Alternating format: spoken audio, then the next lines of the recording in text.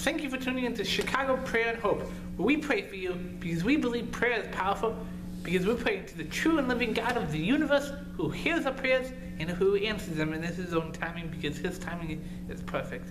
And also, where we share the good news of Jesus Christ, which truly brings salvation to you and it offers you eternal life if you believe by faith and repent of your sins because he's the only way to the Father. Amen? Amen. Well, thank you for tuning into this video, my brothers, friends, sisters, family, you name it. Hope you guys are having a great day and you're ready for some encouragement. We're going to talk about a topic that we have talked about like two or three times, I think we have. But first of all, I just want to say, if you guys ever hear me repeating a topic, ever, that we have talked about, whether it's like two or three times, like we talked about the topic, or four times or five times, I just want to personally, personally say, please understand that we cannot have topics enough, that we cannot be reminded. How many of you guys have heard of a, of a notepad or a notebook or the reminders app on your either Apple iPhone or Android phone or Samsung phone or computer? You need, we need reminders because our minds forget stuff. We need, same thing for the gospel. We need to be reminded of what the good news is uh, so we can, because we forget it each and every day. I'm just going to say that to you. We don't, we, for, we are forgetful people. We need to be reminded of this stuff. We got a new topic. We have heard this verse before, but I'm going to elaborate on it and share my own viewpoint on it. Amen? Amen. Brothers and sisters, open your Bibles up if you have them. If you don't have them, I'll make an exception. You can go get your smartphone device. But don't go on social media. Right? Alright, brothers and sisters, without further ado, flip to James 1, verse 2 to 3. We're talking about joy today. Good old joy. The Bible has a lot to say about joy. Okay, James 1, verse 2 to 3.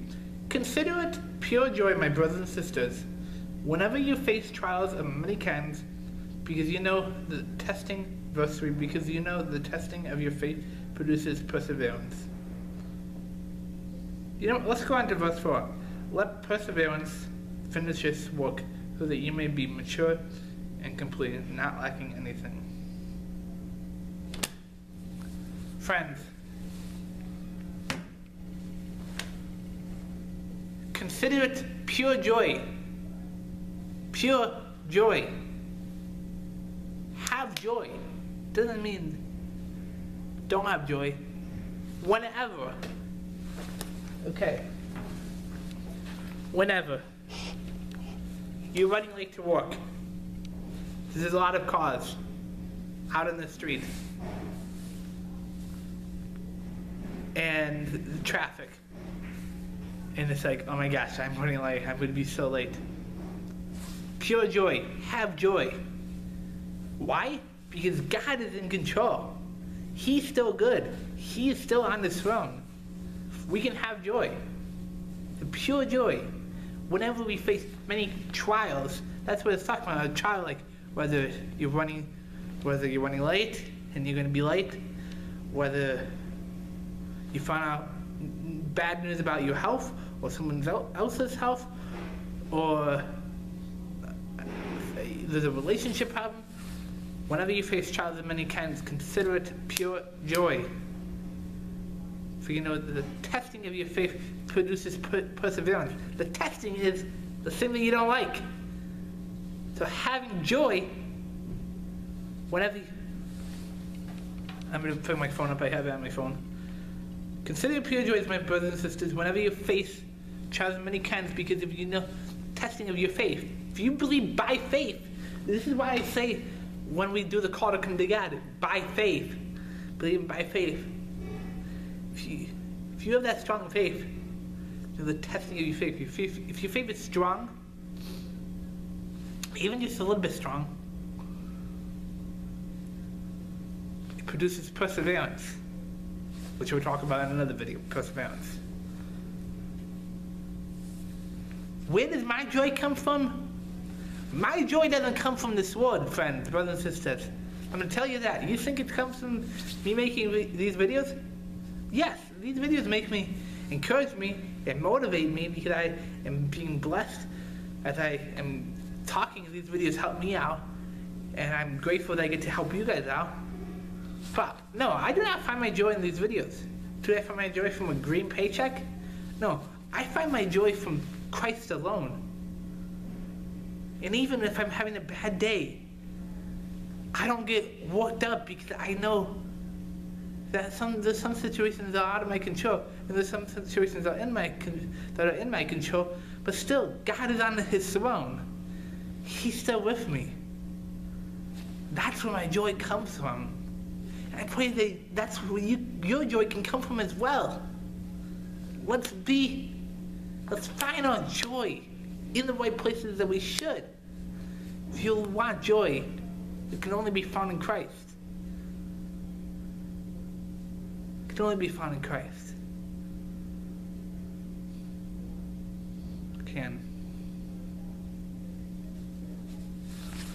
That's my prayer for you, that you can find that joy in Christ alone.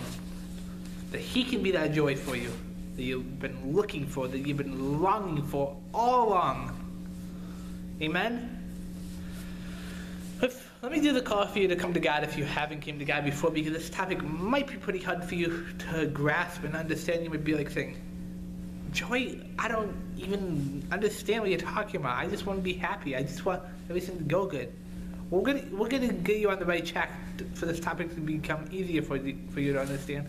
And here's what you do: you say say a simple prayer of faith like this. Lord, I confess I'm a sinner. I confess my need for you, Father God. Please come into my life. Please change me from the inside out. I'm done running from you. I cannot do this life without you. I need you, Lord. I surrender everything to you. Amen. If you just prayed that prayer for the first time, or we pray that prayer known as the prodigal son, then I want to welcome you into the family of God, welcome you back into the family of God. Because Scripture says when one walks into the family of God, or one walks in back in, heaven rejoices, and I rejoice with you. Because I've been praying for this moment, because this is truly the most important decision that you can ever make with your life, is by believing on the Lord Jesus Christ and accepting Him as your Lord and Savior. That's the most important decision that you can make in this life. It's not where you go to school. It's not what car you drive. It's not who you choose to marry. It's by making this important faith decision. This is what it's about. And I pray that you can rejoice in the decision that you made today and have joy in it. Well, if you just made this decision today, I encourage you to reach out to me or to someone because we want to give you resources and the next steps that you can take and this important decision you made today. We're not going to mock you. We're not going to pressure you. You. We just want to walk alongside you and let you know what's next on this important decision that you made today. Well, are you truly ready to receive a blessing, friends, that the Lord promises? Then put your hands up.